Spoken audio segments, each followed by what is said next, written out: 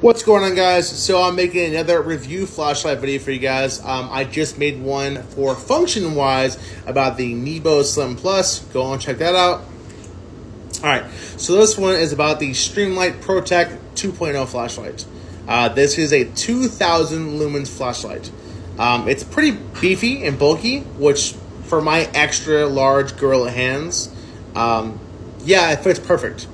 Um, it's got a big power button in the back. That's the only power button it has. Uh, it's got little thumb grooves, so you can restly, nicely put your thumb in there. Um, it's got a clip. It's got a little hole right there, so you can put a little uh, lanyard on it around your wrist so you don't drop it, like I have probably about a billion times, where it's all scratched and beat up. Um, this flashlight is fantastic. Um, I love it. And I love the fact that it's also rechargeable.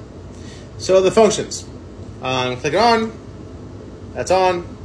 Uh, unfortunately, unlike the Streamlight uh, Stinger or the Nebo Slim Plus, where you hold on the power button, it has an auto dim setting. This does not have that, which is fine for a you know small flashlight like this.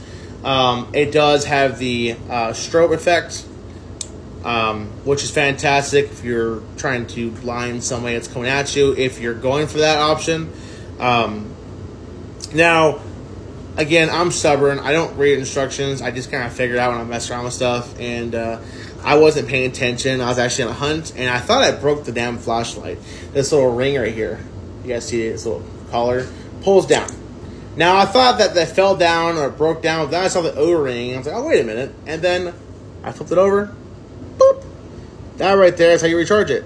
So you don't ever have to take the battery out of this and stubbornly plug your cord in and then plug the battery back in every single time.